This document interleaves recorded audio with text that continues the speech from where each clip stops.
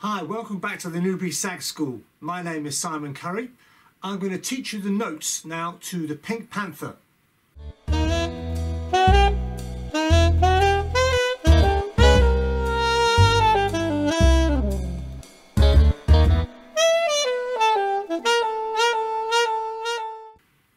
This tune, The Pink Panther, is written by Henry Mancini and it is in a particularly harder key for the saxophone.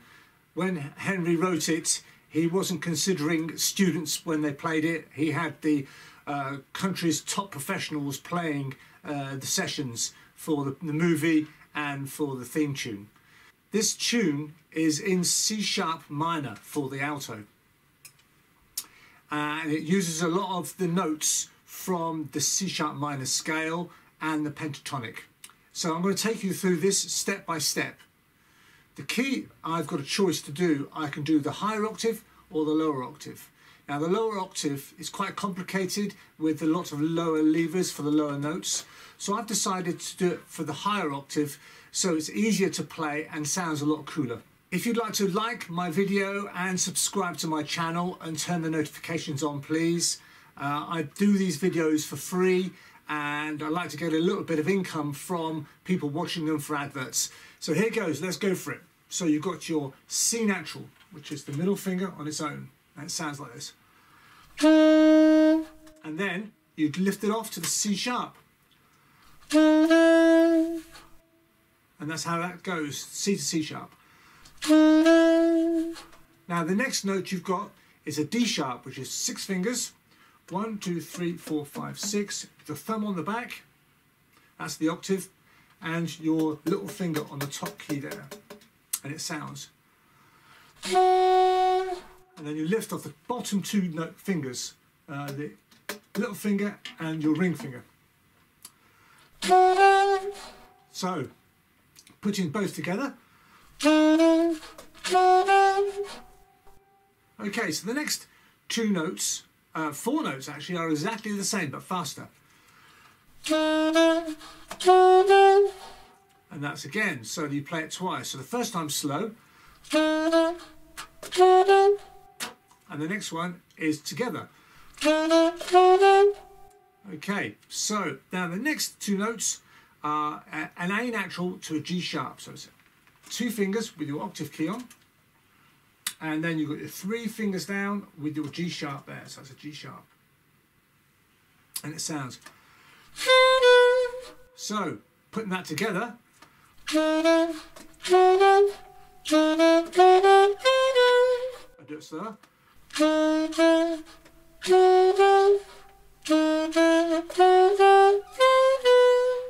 Okay, so our next note is a C sharp to an E.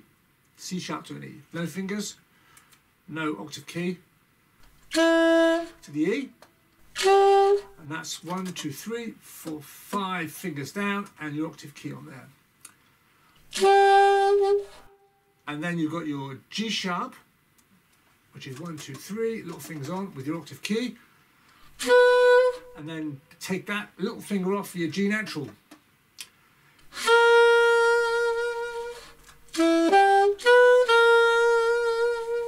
So altogether it sounds. So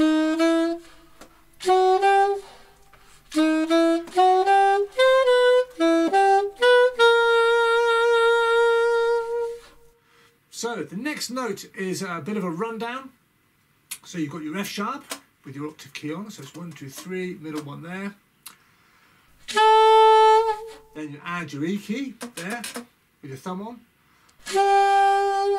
And then take your octave key off with the thumb off the octave key and you got C sharp. Then a B, which is your one finger there. And then back to your C sharp again. And that sounds. I'll play it slowly. There you go. So the whole lot sounds like this very slowly.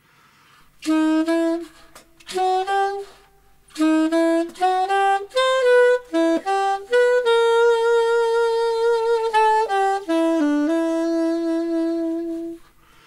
so that's your first phrase. So the second phrase starts exactly like the first phrase.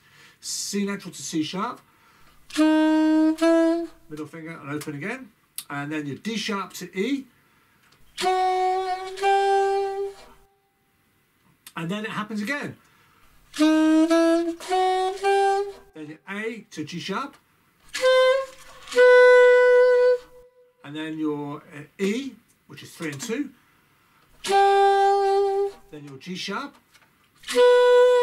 So with the thumb on. And you've got your top C sharp, a new note for us, top C sharp. That's with your octave key on. So there's your middle C sharp. And this is your top one with your octave key on. And then you've got your oct your high C sharp, then you go down to your C natural. And that's the middle finger on there with the octave key on. So that next phrase sounds like this.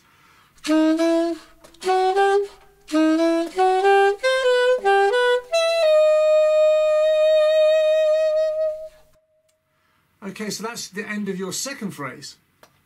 Okay, so we do it all again for our next uh, phrase, which is the same as the first phrase. So you C to C sharp, D sharp to E, C to C sharp, D sharp E, A G sharp, C sharp, E, G sharp, G natural and then down that run, F sharp, E, C sharp, B, and then finally we get our last sexy bit, which is your top C sharp. So that's no fingers with your thumb on. Then one finger for your B. And your G sharp, one, two, three, little finger on there F sharp, three in the middle, and three and two, one, two, three for your E, then your C sharp, no fingers, and G F sharp, so that's a G natural there, and to F sharp, with your thumb on the octave. And that happens a few, four times. And the good thing about that is you tongue the first G and then you slide your finger down quickly. And if you want to be really sexy about it, you can actually be a bit slow with your finger.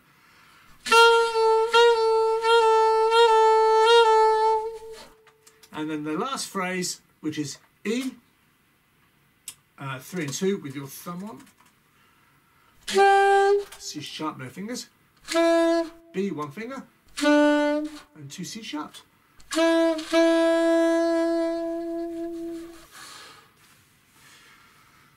Okay, well there are your notes and I'm going to demonstrate the whole lot to you very slowly so you get the hang of it.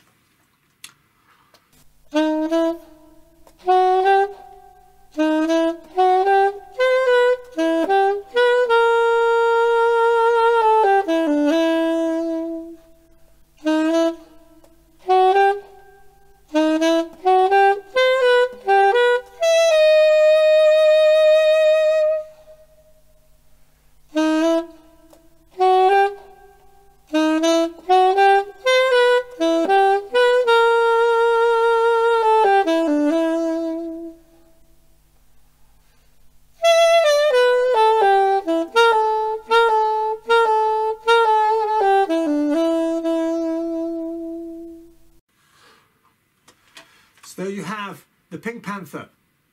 Uh, next, you've got the backing track for you to play along to. Okay, I hope you enjoyed it. Thank you.